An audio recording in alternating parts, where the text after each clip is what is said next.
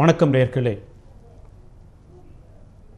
வாரந்தோறும் கலாம் என்ற ஒரு மகத்தான மனிதர் அவர் வாழ்க்கையில் நடைபெற்ற சுவையான சம்பவங்கள் என்றெல்லாம் வாரந்தோறும் உங்கள் மத்தியில் தொடர்ந்து நான் பேசிக்கொண்டே வருகின்றேன். கடந்த வார நிகழ்ச்சியில் ஏறக்குறைய ஆயிரத்து தொள்ளாயிரத்து தொன்னூற்று ஒன்றாம் ஆண்டு வரை நடைபெற்ற சம்பவங்கள் குறித்து சில செய்திகளை உங்களோடு பகிர்ந்து கொண்டேன். இந்த வாரம் ஆயிரத்து தொள்ளாயிரத்து தொண்ணூறு தொடங்கி இரண்டாயிரத்தி ஒன்று ஏறக்குறைய பதினோரு ஆண்டுகளில் மேதகு கலாம் அவர்கள் வாழ்க்கையில் நடைபெற்ற சம்பவங்களை உங்களிடையே பகிர்ந்து கொள்ள விரும்புகின்றேன்.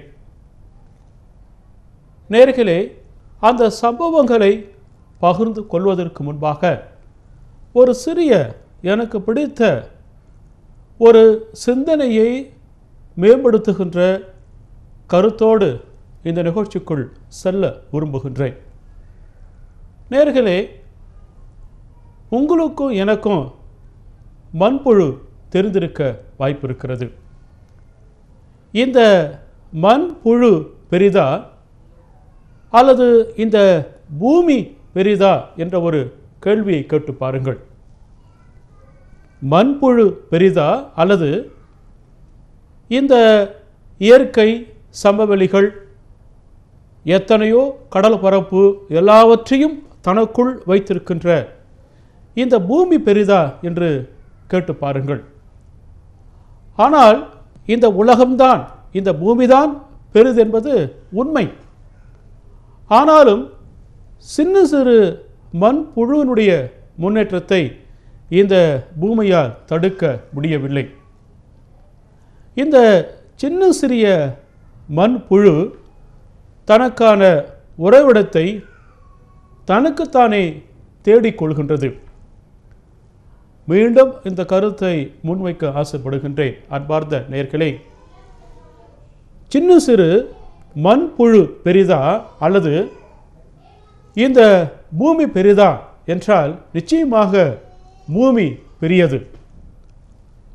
மிகப்பெரிய கடல் பரப்பை நிலப்பரப்பை நிலங்களை மனிதர்களை உள்ளடக்கியது அகன்ற பூமியாகும்.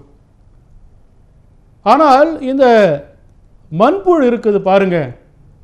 தனக்கான உறைவிடத்தை இருப்பிடத்தை தேடுகின்ற பணியில் இந்த பூமியை குடைந்து உள்ளே சென்று தனக்கான இடத்தை அது தேடிக்கொள்ளுகின்றது.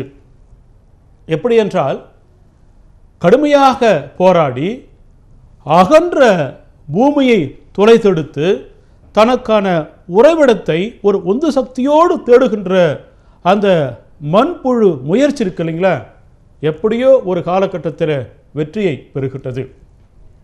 இதை இரண்டாயிரத்து நாற்பது வருடங்களுக்கு முன்னாலே தோன்றிருக்கின்ற மகான் திருவள்ளுவர் இந்த முயற்சி குறித்து அழகாக பதிவு செய்திருக்கின்றான் எப்படி என்றால் ஊழையும் உப்பக்கம் காண்பார் உளவின்றி தாழாது ஊஞ்சற்றுபவர். இந்த குரலை மீண்டும் உங்களோடு பகிர்ந்து கொள்ள விரும்புகின்றேன்.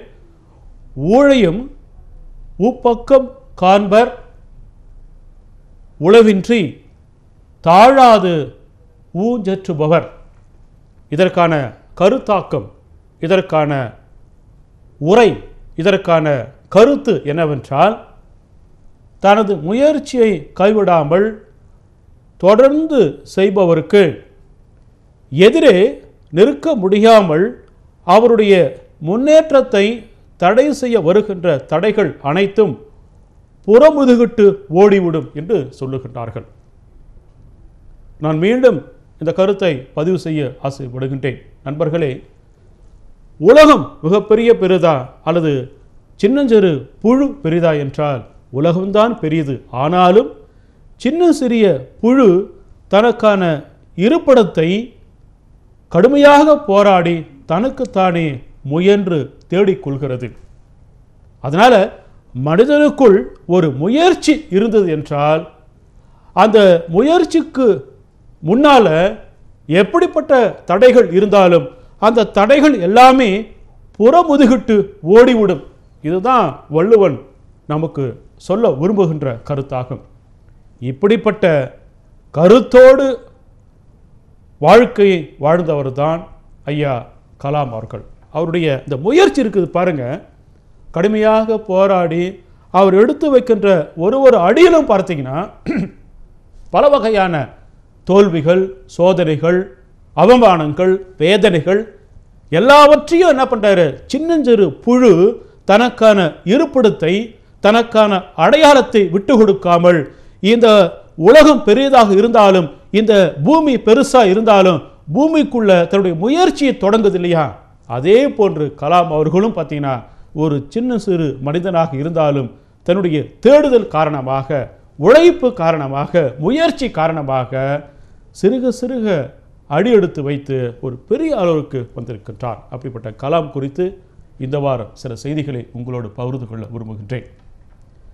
நேயர்களே ஒரு எனக்கு பிடித்தமான ஒரு பெரிய ஒரு சிந்தனையாளர் ஒரு பெரிய தத்துவ ஞானி அவரிடம் ஒரு கேள்வி கேட்கப்படுகிறது. என்னவென்றால் இன்றைய மக்கள் எல்லோரும் இருக்கின்றார்கள். பல கோடி மக்கள் இந்த தேசத்தில் நூற்று முப்பது கோடி மக்கள் இந்தியாவில் வாழுகின்றார்கள். எதனால இப்படிப்பட்ட மக்கள் இந்த தேசத்தில் வாழ்ந்திருந்தாலும் எதனால இந்தியா ஏன் இன்றைக்கும் முன்னுக்கு வராமல் இருக்கிறது? வளர்ந்த நாடாக இருக்கக்கூடிய தேசம் இன்றைக்கும் வளர்ந்து கொண்டிருக்கின்ற நாடாக ஏன் இருக்கிறது? எந்த குறைபாடு இருக்கிறது? எல்லா வளங்களும் இந்த தேசத்தில் இருக்கின்றன என்று கேள்வி வருகின்ற பொழுது எதனால் இந்த குறைபாடு என்று அந்த ஒரு தத்துவ ஞானியிடம் ஒரு கேள்வி முன்வைக்கின்ற பொழுது அவர் சொல்லுகின்றார் ஏன் இந்த குறைகள் தெரியுமா? அதற்கான தீர்வு சொல்கிறாரு இன்றைக்கு இருக்கின்ற இளைஞர்கள் தங்களுக்குள் ஒரு இறை தன்மை இருப்பதாக என்று உணர்கின்றார்களோ அன்றைக்குத்தான் இந்த தேசம் மாறும் என்று சொல்லுகின்றார். மனிதர்கள் தங்களுக்குள் இருக்கின்ற அந்த தெய்வீக தன்மையை என்று உணர்கின்றார்களோ அன்றைக்குத்தான் இன்றைய இந்திய தேசம் வல்லரசு தேசமாக மாறும். மீண்டும் சொல்லுகின்றேன்.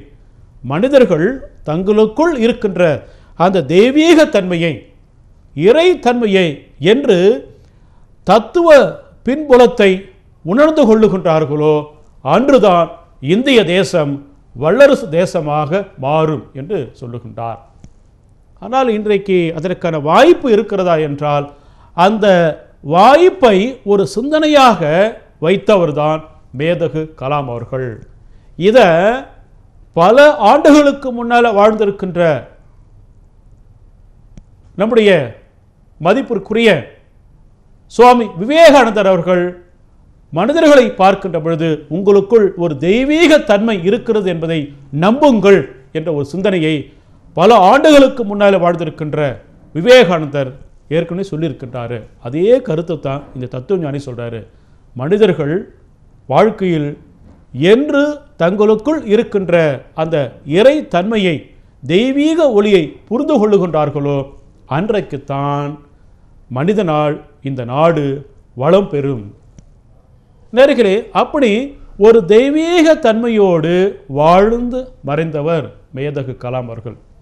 நீங்கள் இப்போ விவேகானந்தருடைய படத்தை பாருங்களேன். அவர் வந்து அந்த சிக்காக்க சர்வ மகா சபையில் பேசுகின்ற அந்த ஒரு உருவ அமைப்பு அவர் வந்து அந்த காவி உடையை போட்டுக்கொண்டு நிற்கின்ற அந்த அழகான தோற்றம் இருக்குது பாருங்கள் அதை நீங்கள் கற்பனையில் கூட நடித்து காட்ட முடியாது. ஏனென்றால் விவேகானந்தருடைய உள்ளே இருக்கின்ற சிந்தனையும் அவருடைய தோற்ற பொழிவும் ஒருங்கே அமைய பெற்றிருக்கின்றது. நீங்கள் விவேகானந்தர் கம்பீரமாக நிற்கிறார் பாருங்க. அதை போல் ஒரு சராசரி மனுஷனால் நிற்க முடியாது. ஏனென்றால் விவேகானந்தருக்குள்ளே இருக்கின்ற அந்த தெய்வீக தன்மை பார்த்தீங்கன்னா வெளிப்படுகின்ற பொழுது அற்புதமாக வெளிப்படுகின்றது. நேர்களே அதே போன்று மேதகு கலாமருடைய தோற்றத்தை நீங்கள் பாருங்கள். அவர் அமர்ந்து பேசுகின்ற தன்மை அவருடைய கண்கள் அவருடைய முகத் தோற்றம் முகப்பொழுவை பார்த்தீங்கன்னா அதில் ஒரு தெய்வீகத்தன்மை இருப்பதை நம்மால் புரிந்து கொள்ள முடியும். அந்த தெய்வீகத்தன்மை எப்படி வந்ததுன்னா சொல்லும் செயலும் சிந்தனையும் பார்வையும் ஒன்றாக ஒரே நேர்கோட்டில் இருக்கின்ற பொழுது மனிதனுக்குள் இருக்கின்ற தெய்வீகத்தன்மை அந்த வசீகரமான தோற்றம் வெளிப்படும் என்பதற்கு சரியான எடுத்துக்காட்டு மேதகு கலாம் அவர்களுடைய முகமாகும். நீங்கள் வந்து வலைதளத்தில் சென்று கலாம் குறித்த பல செய்திகளை தேடுகின்ற பொழுது கலாமனுடைய அந்த முகத்தை ஒரு கணம் உற்று பாருங்கள் உற்று நோக்கி பாருங்கள். அந்த ஒரு முகத்தில் தெய்வீகத்தன்மையை உங்களால் நம்மால் புரிந்து கொள்ள முடியும். நேர்களே அப்படிப்பட்ட கலாம் குறித்து அவர் வாழ்க்கையில் நடைபெற்ற சம்பவங்கள் குறித்து நான் பேசிக் கொண்டிருக்கின்றேன். இப்போ இந்த நிகழ்ச்சியை பொறுத்தவரை ஆயிரத்து தொள்ளாயிரத்து தொண்ணூறு முதல் இரண்டாயிரத்து ஒன்று வரை பதினோரு ஆண்டு காலங்கள் அவருடைய வாழ்க்கையில் நடைபெற்றிருக்கின்ற சம்பவங்கள் அவர் பேசிய பேச்சுக்கள் எந்த கருத்துக்களை முன்வைத்து பேசினாரோ அது தொடர்பான சிந்தனைகளைத்தான் இந்த நிகழ்ச்சியில் நான் பேச இருக்கின்றேன். நேர்களே ஆயிரத்தி தொள்ளாயிரத்தி தொண்ணூறு முதல் இரண்டாயிரத்து ஒன்று வரை ஏறக்குறைய மூன்று ஆண்டு காலங்கள் கலாம் அவர்கள் இந்திய அரசாங்கத்தின் முதன்மை அறிவியல் ஆலோசகர் என்ற ஒரு பதவியில் இருந்தார். ஆயிரத்தி தொள்ளாயிரத்தி தொண்ணூறு முதல் இரண்டாயிரத்தி ஒன்று வரை இந்திய அரசின் முதன்மை அறிவியல் ஆலோசகர் என்ற ஒரு பதவியில் கலாம் அவர்கள் இருந்தார்கள். இந்த சூழலில் அவர் வாழ்க்கையில் நடைபெற்ற ஒரு வலியான செய்தியை உங்கள் முன்னே நான் பகிர்ந்து கொள்ள விரும்புகின்றேன். அதற்கு முன்பாக எனக்கு பிடித்தமான ஒரு பழமொழி ஒன்றுண்டு இன்றைக்கு மனித சமூகத்திற்கு எல்லா வகையான திறன்களும் எல்லா வகையான வாய்ப்புகளும் கொடுக்கப்பட்டிருக்கின்றன. இப்போ நேரம் அப்படின்னா எனக்கு இருபத்தாலு மணி நேரம். உலகத்தினுடைய மிகப்பெரிய ஒரு பணக்காரர் இருக்கிறாருன்னா அவருக்கும் இருபத்தி நாலு மணி நேரம் தான் இந்த தேசத்தினுடைய பிரதமர் இருக்கிறாரு வச்சிங்களேன். அவருக்கும் இருபத்தி நான்கு மணி நேரம் தான் அப்போ சராசரி மனிதன் சாமானிய மனிதன் தொடங்கி உலகத்தினுடைய உச்சத்தில் இருக்கின்ற யாராக இருந்தாலும் சரி இயற்கை பார்த்தீங்கன்னா வாய்ப்புகளை சமமாகத்தான் கொடுத்து கொண்டே வருகிறது. கலாம் சொல்றாரு திறன் மிக்கவன் எப்படிப்பட்ட பிரச்சனைகள் இருந்தாலும் அதை வாய்ப்புகளாக பார்க்கின்றான். சாதாரண மனுஷனா இல்லாம சாதிக்க வேண்டும் என்ற ஒரு எண்ணத்தோடு ஒரு மனுஷன் இருந்தானா? அவன் எப்படிப்பட்ட பிரச்சனைகள் இருந்தாலும் அந்த பிரச்சனைகளுக்குள் இருக்கின்ற வாய்ப்பை பார்க்கின்றான். சாமானிய மனுஷன் எப்படிப்பட்ட வாய்ப்புகள் இருந்தாலும் அதை பிரச்சனையாக பார்க்கின்றான். இது அழகான ஒரு கருத்து. யோசனை பண்ணி பாருங்களேன். சராசரி மனுஷனுக்கும் சாதிக்க வேண்டும் என்ற ஒரு எண்ணம் உள்ள ஒரு தன்னம்பிக்கை மனுஷனுக்கும் ஒரு வித்தியாசம் இருக்கிறது. என்னவென்றால் சராசரி மனுஷன் தன் நோய்க்கு வரக்கூடிய வாய்ப்புகளை வாய்ப்பாக பார்க்காமல் அந்த வாய்ப்புகளுக்குள் இருக்கின்ற பிரச்சனைகளை தான் பெருசாக்கி பார்ப்பான். ஐயோ வேணாம்பா வீண் பிரச்சனை வந்துடும் அப்போ எந்த செயலும் செயல்பட முடியாது. இது சாமானிய மனுஷன் சராசரி மனுஷன். இதை வந்து விவேகானந்தர் சதை பிண்டம் என்று சொல்லுகின்றார். ஆனால் அப்துல் கலாமை போன்ற சாதிக்க வேண்டும் என்ற ஒரு திட்பம் எண்ணம் உள்ள மனுஷன் பார்த்தீங்கன்னா எப்படிப்பட்ட பிரச்சனையாக இருந்தாலும் அந்த பிரச்சனைக்குள் இருக்கின்ற வாய்ப்புகளை பார்ப்பார்கள். அதுதான் கலாம் அதுதான் காந்தி அதுதான் பாரதி அதுதான் வஉசி. அவர்கள் பிரச்சனைகளை பிரச்சனையா பார்க்க மாட்டாங்க. அதுல முட்டி மோதி பார்க்கின்ற பொழுது அந்த பிரச்சனைகளுக்குள்ள இருக்கின்ற வாய்ப்புகளை வைத்து சராசரி விஷயத்தை தாண்டி சாதிக்கின்ற வெறுபிடித்த ஒரு மனிதனாக மாறுவார்கள். அந்த வெறி என்பது சமூகத்துல நல்ல மாற்றத்தை ஏற்படுத்தக்கூடிய ஒரு வெறியாக இருக்கும். அது தேவை அது. அது போன்ற ஒரு சம்பவம். கலாம் அவர்கள் வாழ்க்கையில் ஆயிரத்து தொள்ளாயிரத்து தொண்ணூறாம் ஆண்டு நடைபெற்றது. அது வந்து ஒரு சோகமான ஒரு சம்பவம். அதை வந்து கலாம் அவர்கள் தன்னுடைய வாழ்க்கை வரலாற்று பக்கங்களை மிக அழகாக பதிவு செய்திருக்கின்றார்.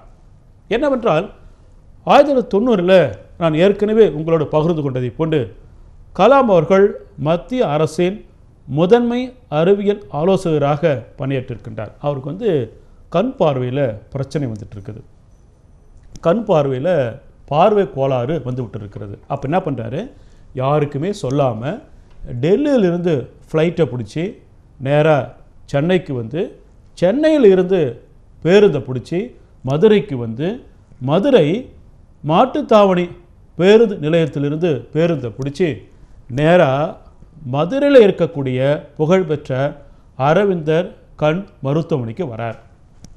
ஏன் வராரு கலாம் அவர்கள்? கலாம் அவர்களுக்கு பார்வையில் கோளாறு. அதனால் வந்து சிகிச்சை எடுத்துக்கொள்ள வேண்டும் என்று நோக்கத்திற்காக டெல்லியில் இருந்து அரவிந்தர் அந்த மருத்துவமனையுடைய புகழை கேள்விப்பட்டு டெல்லியிலிருந்து சென்னை வந்து சென்னையிலிருந்து மதுரைக்கு பேருந்தை பிடிச்சி நேராக அரவிந்தர் கண் மருத்துவமனைக்கு உள்ளே போகிறார் வரிசையில் நிற்கிறார் அந்த மருத்துவர் பெயர் வந்து ஜி நாச்சியார் என்பதாகும். ஜி நாச்சியார் மருத்துவரை கண் மருத்துவரை பார்க்குறாரு. கண் மருத்துவர் என்ன பண்ணுறாங்க சார் உங்களுக்கு வந்து ஆப்ரேஷன் கண் அறுவை சிகிச்சை செய்ய வேண்டும். நீங்கள் வந்து கேஷ் கவுண்டரில் போயிட்டு பணத்தை கட்டிட்டு ஹாஸ்பிட்டலில் அட்மிட் ஆகிடுங்க நாளையோ நாளை மறுநாளோ உங்களுக்கு கண் அறுவை சிகிச்சை செய்ய வேண்டும் என்று சொல்லிட்டு போயிடுறாங்க. கலாம் அவர்கள் நேராக என்ன பண்ணுறாரு அங்கே இருக்கின்ற கேஷ் கவுண்டருக்கு போகிறாரு கண் அறுவை சிகிச்சைக்கு பணம் கட்டணும் இல்லைங்களா? பணத்தை கட்டுவதற்காக பணம் இல்லை மாறாக செக்கு புக்கை எடுத்து என்ன பண்ணுறாரு அந்த செக்கை கொடுக்குறாரு. அந்த கேஷ் கவுண்டரில் இருந்து என்ன பண்ணுறாங்க ஐயா பெரியவர் இங்கே வந்து செக்குலாம் நாங்கள் வாங்க மாட்டோம். உங்களுக்கு ஆப்ரேஷன் வேண்டுமென்றால் நீங்கள் பணத்தை கட்டினாதான் அட்மிஷன் போடப்படும். நீங்கள் செக்கு கொடுத்தீங்கன்னா அட்மிஷன் கிடைக்காது நீங்கள் போயிட்டு வாங்க என்று அனுப்பி விடுகின்றார்கள் கலாமுக்கு ஒன்றுமே புரியல. நேராக என்ன பண்ணி வெளியில் வராரு. ஒரு பத்து நிமிஷம் அப்படியே யோசனை பண்ணி பார்க்குறாரு ஏன்னா பெரும்பாலும் வயசானவங்க பணம் எப்பவுமே கையில் வச்சுருக்க மாட்டாங்க போயிட்டு. அவர் எப்பவுமே செக் புக் தான் வச்சுருப்பார் அவர். காசோலை தான் வைத்திருப்பார். யோசனை பண்ணி பார்த்து என்ன பண்ணுறாரு தெரியுங்களா? சரி என்று ஒரு பத்து நிமிடம் இருபது நிமிடங்கள் யோசனை பண்ணி பார்த்துட்டு மீண்டும் என்ன பண்ணுறாரு அந்த மருத்துவர் நாச்சியார் கண் மருத்துவர் இருக்கா இல்லையா? அந்த மருத்துவரை பார்த்து அம்மா கோச்சிக்காதீங்க. நான் வந்து பணம் கொண்டு வரல. எங்களை வந்து ஹாட் கேஷ் இல்லை. அதனால் வந்து காசோலை தான் இருக்கிறது நீ கொஞ்சம் ஒரு வார்த்தை சொன்னீங்கன்னா நான் செக்கை கொடுத்துட்றேன். சர்ஜரி பண்ணணுமா? அப்படின்றாங்க. நாச்சியார் என்ன பண்ணுறாங்க கொஞ்சம் தயக்கப்பட்டு கொண்டு சரிங்கன்னு சொல்லிட்டு அந்த காசோலையை வாங்கி கொண்டு அட்மிஷன் கொடுத்துட்றாங்க. மூன்று நாட்கள் கலாம் அவர்கள் மதுரை அரவிந்தர் கண் மருத்துவமனையில் கண் அறுவை சிகிச்சைக்காக சேர்க்கப்பட்டு மூன்று நாட்கள் சிகிச்சை முடிந்து டெல்லிக்கு போயிடுறார். நேர்களே இதில் ஒரு முக்கியமான விஷயம் இருக்கிறது. அந்த மூன்று நாட்கள் மதுரையில் இருந்த சூழலில் மேதகு கலாம் அவர்கள் தான் ஒரு ஏவுகணை விஞ்ஞானி. தான் ஒரு மத்திய அரசாங்கத்தின் உயர்ந்த பொறுப்பில் இருக்கக்கூடிய அறிவியல் விஞ்ஞானி. தான் ஒரு அக்னி ஏவுகணையை உருவாக்கியிருக்கின்ற உலகம் புகழ்மிக்க விஞ்ஞானி என்றெல்லாம் எதை பற்றியும் சொல்லாமல் சராசரி சாமானிய மனுஷனாக வந்து ட்ரீட்மெண்ட் எடுத்துக்கிட்டு டெல்லிக்கு போயிடுறார். அது வரைக்கும் வந்தவர் கலாம் என்றோ அவர் இந்திய அரசாங்கத்தில் முதன்மை அறிவியல் ஆலோசகர் என்ற ஒரு பதவியில் இருக்கின்ற பெரிய சயின்டிஸ்ட்டு என்றோ அரவிந்தர் கண் ஹாஸ்பிட்டலுக்கு தெரியாது. ட்ரீட்மெண்ட் எடுத்துன்னு போயிடுறார் இவர் சென்று விட்ட பிறகு இவருக்கு வந்து துப்பாக்கி இந்த போலீஸார் பாதுகாப்பு இருக்கிறாங்க. இசட் கேட்டகரியில் வராரு அவர். ஏன்னா இந்த தேசத்தினுடைய முதுபெரும் சயின்டிஸ்ட் அவர். கலாம் அவர்கள் யாருக்கும் சொல்லாமல் டெல்லியில் இருந்து நேராக மதுரை வந்துட்டார் இல்லையா? மதுரையில் தங்கி ஹாஸ்பிட்டலில் தங்கியிருந்து அறுவை சிகிச்சை எடுத்துக்கொண்டு டெல்லிக்கு போயிட்ட பிறகு தான் அங்கே இருக்கிற செக்யூரிட்டி தெரியுது. ஐயோயோன்னு சொல்லிட்டு கலாம் வந்து மதுரையிலிருந்து கிளம்பி டெல்லிக்கு போகிற அதே நேரத்தில் டெல்லியில் இருந்து கலாம் அவர்களுடைய பாதுகாப்புத்துறை அதிகாரிகள் என்ன பண்ணுறாங்க மதுரைக்கு வந்து நேரம் ஹாஸ்பிட்டல் போகிறாங்க போயிட்டு ஏங்க இது போல் அப்துல் கலாம் என்ற சயின்டிஸ்ட்டு வந்தாரான்னு கேட்குறாங்க அவருடைய ஃபோட்டோவை காட்டி கேட்குறாங்க அப்போ தான் தெரியுது மூன்று நாட்கள் நம்ம ஹாஸ்பிட்டலில் தங்கியிருந்தவர் சாதாரண மனுஷன் இல்லை சாமானிய மனுஷன் இல்லை. இந்த தேசமே போற்றி பாதுகாக்கக்கூடிய இந்த தேசத்தினுடைய தலை சிறந்த ஒரு அறிவியல் விஞ்ஞானி அப்துல் கலாம் என்பது அப்போ தான் தெரிய வருது. எல்லாம் சொல்கிறாங்க ஆமாம் சார் ஒரு வயசான பெரியவர் வந்தார். இங்கே தங்கி இருந்தாங்க. ஹாஸ்பிட்டல் ட்ரீட்மெண்ட் முடிச்சுட்டு போயிட்டாருன்னு போயிட்டாங்க. அதுக்கப்புறம் ஜி நாச்சியார் அரவிந்தர் கண் மருத்துவமனுடைய நிர்வாக இயக்குனர் பிரபல கண் மருத்துவர் டாக்டர் நாச்சியார் அவர்கள் கலாமுக்கு கடிதம் எழுதுகிறாங்க இன்னும் கேட்டால் ஐயா கலாம் அவர்களே நீங்கள் வந்தீங்க. நீங்கள் யாருன்னு தெரியல. நாங்கள் கொஞ்சம் தப்பாக நடந்துக்கிட்டோம். தயவு செய்து எங்களை நீங்கள் மன்னிக்கணும். தப்பாக எடுத்துக்கொள்ளக்கூடாது என்று மன்னிப்பு கேட்டு கலாம் அவர்களுக்கு அந்த மருத்துவமனை நிர்வாகம் கடிதம் எழுதுகின்றது. கலாம் அவர்கள் வழக்கம் போல் அதெல்லாம் ஒன்றும் இல்லைங்க. ஏதோ வந்தேன். எனக்கு நீங்கள் நல்ல ட்ரீட்மெண்ட் கொடுத்தீங்க சந்தோஷம் என்று மறந்து விடுகின்றார். அதான் சொல்கிறாரு எது வந்து தெய்வீகத்தனம் என்றால் மனிதனுக்குள் இருக்கின்ற பகை உணர்ச்சி என்பது இருக்கக்கூடாது. ஒரு பேட்டியில் கேட்குறாங்க உங்கள் வாழ்க்கை முன்னேற்றத்திற்கு என்னென்ன வகையான தகுதிகளை நீங்கள் சொல்ல ஆசைப்படுறீங்க? உங்களுக்கு என்ன தகுதி இருக்கிறது? இவ்வளோ பெரிய மனுஷனாக வந்துட்டீங்க அவர் சொல்கிறார் எனக்குள் பகை உணர்வு என்பது இல்லை. எனக்கு எவ்வளோதான் யாருன்னா தீமை செஞ்சாலும் பார்த்தீங்கன்னா மன்னிப்பு மன்னித்தல் ஒன்று தான் நல்ல சமூகத்தை உருவாக்கும். அதுபோல் ஒரு சிந்தனை உள்ள அப்துல் கலாம் அவர்கள் மீண்டும் கடிதம் எழுதுகிறார் யாருக்கு? அரவிந்தர் கண் ஹாஸ்பிட்டலுக்கு நிர்வாகத்துக்கு கடிதம் எழுதுகிறாரு இல்லை இல்லை நீங்கள் என்னை மன்னிப்பு கேட்க வேண்டிய அவசியமே இல்லை. நான் பெரிய விஷயம் எடுத்துக்கல என்று சொல்லிவிட்டு ரெண்டாயிரத்தி ரெண்டில் கலாம் அவர்கள் டெல்லியில் ஜனாதிபதியாக பொறுப்பணி ஏற்கின்ற பொழுது ஒரு ஐம்பது நபருக்கு ஜனாதிபதி தனிப்பட்ட ஒரு வேண்டுகோளை விடுத்து அந்த பதவியேற்பு நிகழ்ச்சிக்கு வர சொல்கிறாரு அந்த பதவியேற்பு நிகழ்ச்சியில் பங்கேற்குமாறு அவர் அழைப்பு விடுத்தார் இல்லையா? அதில் ஒரு நபர் யார் என்று பார்க்கின்ற பொழுது அரவிந்த் கண் மருத்துவமனையினுடைய நிர்வாக இயக்குனர் அந்த பிரபல கண் மருத்துவர் டாக்டர் ஜி நாச்சியார் என்பதாகும். பாருங்கள் தமக்கு வந்து உரிய மரியாதையே கொடுக்கல. ஹாஸ்பிட்டல் வருகின்ற பொழுது காசு கேட்டாங்க எங்களை காசு இல்லைங்க அப்படின்ட்டு காசோலையை கொடுத்தாரு. கொஞ்சம் சங்கடமான சூழல் இருந்தாலும் கூட அதை மறந்துட்டு ரெண்டாயிரத்தி ரெண்டில் பிரசிடெண்ட்டாக பதவி ஏற்கின்ற பொழுது பார்த்தீங்கன்னா அவங்கள கூப்பிட்டு சிறப்பு செய்கிறார் பாருங்கள் அதுதான் அந்த கலாமுடைய அந்த மனித நேயம் மனித பண்பாடு என்பதாகும். நேர்களே மனித வாழ்க்கையில் இன்னைக்கு பல பேர் பார்க்கிறோம் நாம். எண்பது வயசு இருக்கும் எழுபது வயசு இருக்கும் முதுமை இருக்கும். ஆனால் முதிர்ச்சி என்பது இருக்கிறதா என்றால் பல பேர்கள் இருக்காது. ஆனால் ஒரு பையன் இருப்பான். இருபது வயசு இருக்கும். ஆனால் இருபது வயசில் பார்த்தீங்கன்னா அந்த சிறுவனுக்குள்ள அந்த இளைஞனுக்குள்ள முதிர்ச்சி என்பது இருக்கும். அப்போ எது வாழ்க்கைக்கு தேவை என்றால் வயது அல்ல. அந்த முதிர்ச்சி என்பது தான் மனித சமூகத்திற்கு தேவை. முதிர்ச்சி என்பது என்ன? தப்பு பண்ணாலும் ஏற்றுக்கொள்வது மன்னிக்கின்ற தன்மை பகை உணர்வு இல்லாத ஒரு விசாலமான பார்வை தனக்கு ஒருத்தவங்க தீமை செய்து விட்டாலும் அதை உடனே மன்னிக்கின்ற ஒரு பெருந்தன்மை இருக்குது பாருங்க. இதுதான் அந்த முதிர்ச்சி என்பதாகும். கலாம் அவர்கள் வாழ்க்கையை படிக்கின்ற பொழுது வயசால் மட்டும் பெரியவர் அல்ல மாறாக சிந்தனையால் செயலால் பயன்படுத்துகின்ற சொற்களால் பார்த்தீங்கன்னா முதிர்ச்சி மிக்க ஒரு முத்தான மகத்தான தலைவன் மேதகு கலாம் அவர்கள். இப்படிப்பட்ட சிந்தனையோடு இந்த வாரம் நிறைவு செய்கின்றேன். நேர்களே மீண்டும் புதிய சிந்தனையோடு அடுத்த வாரம் சந்திக்கலாமா? நன்றி. வணக்கம்.